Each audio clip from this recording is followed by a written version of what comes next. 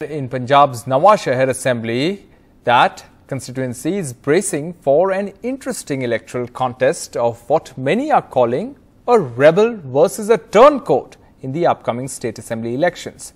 Mohammad Ghazali has this report.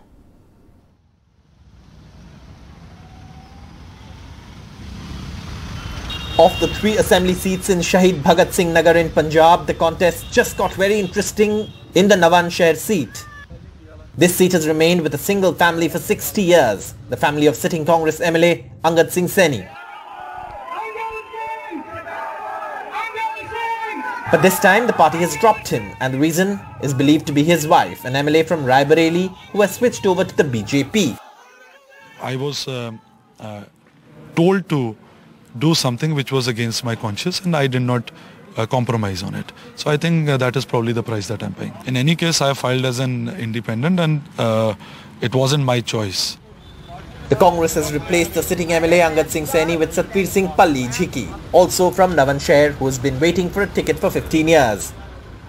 मेरे father मेरे parents जो है पुराने हम कांग्रेसी परिवार हैं कैप्टन अमिंदर सिंह जी जो है ना कांग्रेस पार्टी को बड़ी लंबा टाइम उन्होंने हेड किया है उन्होंने अब मेरे कंसेंट के बगैर उन्होंने मुझे डिस्ट्रिक्ट प्रधान अनाउंस किया था जो नाराज़ हैं उनको बनाने की कोशिश करें A semi-urban constituency, the seat for eight terms has remained in the family of Angad Singh Saini, the incumbent MLA from the Congress. The Saini community has a sizable presence here. Congress has represented the seat since 2012. Illegal mining in Rahon area, drugs, unemployment and sewer problems are the key issues. The Aam Aadmi Party has fielded sitting councillor and former Nawan Shahar Municipal Council President Lalit Mohan Pathak, who is credited with Nawan Shahar performing well in the Swachh Bharat Sarvekshan. ਜੋ ਇਹਨਾਂ ਨੇ ਦੋਨਾਂ ਪਾਰਟੀਆਂ ਨੇ ਲੋਕਾਂ ਨੂੰ ਬੇਵਕੂਫ ਬਣਾਇਆ ਆ ਲੋਕ ਸਮਝ ਚੁੱਕੇ ਆ ਹੁਣ ਇਸ ਵਾਰ ਪੂਰੀ ਵੇਵ ਆਮ ਆਦਮੀ ਪਾਰਟੀ ਦੀ ਆ like most seats in Punjab, even this semi-urban seat of Nawan Shahar has issues of drugs and unemployment.